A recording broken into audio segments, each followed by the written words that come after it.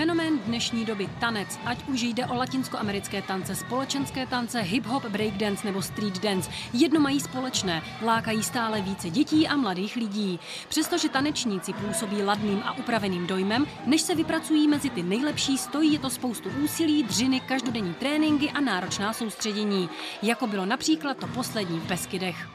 Připravujeme vždycky děti eh, tanečním sportu eh, na takový eh, běh, který nás čeká celý školní rok a v podstatě tady je to intenzivní, protože přes celý rok není eh, času toho tolik na fyzickou přípravu a samozřejmě i na choreografie, tak tady je to v celku po ten celý týden. Na soustředění jezdí převážně pokročilí tanečníci, kteří tady nabírají hlavně fyzickou kondici a nacvičují složitější krokové variace. Taneční klub Trend Ostrava pořádá toto soustředění už 11 let. V poslední době zařadil mezi mládežnické kategorie i úplné nováčky, kteří s tancem teprve začínají. Jsme rádi, že mezi tuhletu kategorii můžeme vždycky zařadit ty nejmenší děti, které v podstatě začínají teprve s tancem. Je to veliká zábava, ale určitě to není úplně jednoduché, protože k dětem musíme mít úplně jiný přístup než k dospělým. Je to sice složitější, děti pomaleji chápou ty kroky, ale zase uh, si myslím, že nás to velice naplňuje, ta práce s dětma. A děti, uh, hlavně co je důležité, tak musí na začátku se dostat do sebe rytmus, dostat vůbec cítění hudby a poté pomalinku, polehonku vlastně učíme je jednoduché kroky. My tady jezdíme sedmým rokem, mám dvě dcery, jsem rád, že se můžu věnovat nějakému pohybu, do kterého se můžu připojit i já a je to prostě takový relax pro celou rodinu.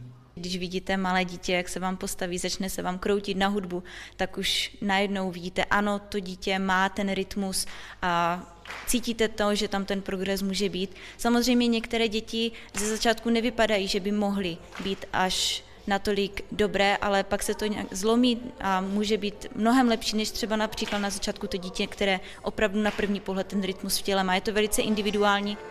Trend Ostrava už vychoval mnoho talentů a tanečních párů, které dokázali bojovat jak na republikové, tak mezinárodní scéně. Než se ale vypracují k těmto metám, musí ujít dlouhou a náročnou cestu. Přesto ve světě už o Ostravě vědí, a to díky jednomu manželskému tanečnímu páru manžele Karáskovi, kteří tančí právě za TK Trend Ostrava, což jsou mistři v dospělé kategorii v latinskoamerických tancích a ti na mezinárodních soutěžích finálovou účast mají, takže si myslím, že to je top pár v České republice a i ve světě.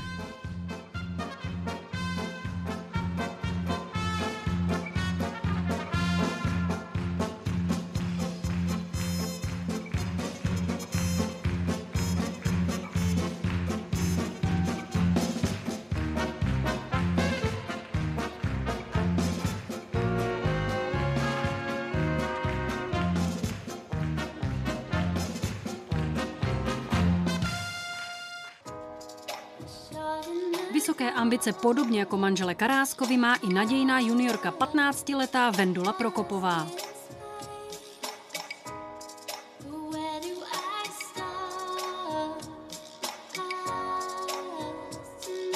Moje cíle si myslím jsou hodně vysoké a chtěla bych být teda aspoň jako mistrně republiky, ale tak uvidíme, co to bude.